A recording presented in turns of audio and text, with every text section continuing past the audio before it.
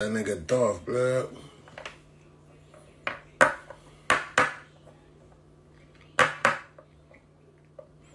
Yeah, that's crazy, blood.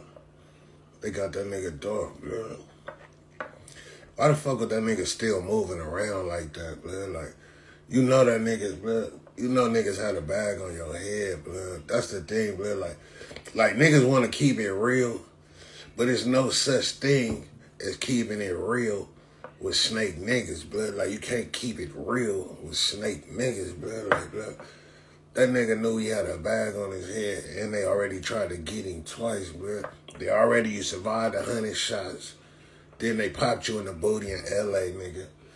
Why the fuck you still moving around like that, bro? Like, like, blood, going to the store to get some fucking cookies, blood. Serious shit to get some fucking cookies, blood. Nigga went to go get some cookies, blood. Why the fuck is you hopping there like, blood? First of all, why the fuck you riding around in a fucking Ferrari? And like, bro, like, bro, who the fuck else riding around in a Ferrari? Like, niggas know that shoe, bro.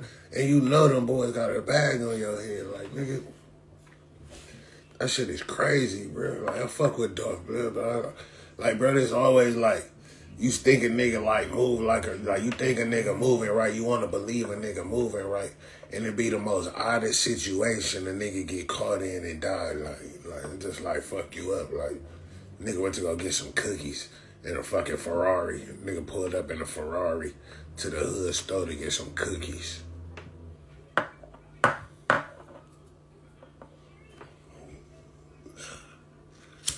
Jesus, man.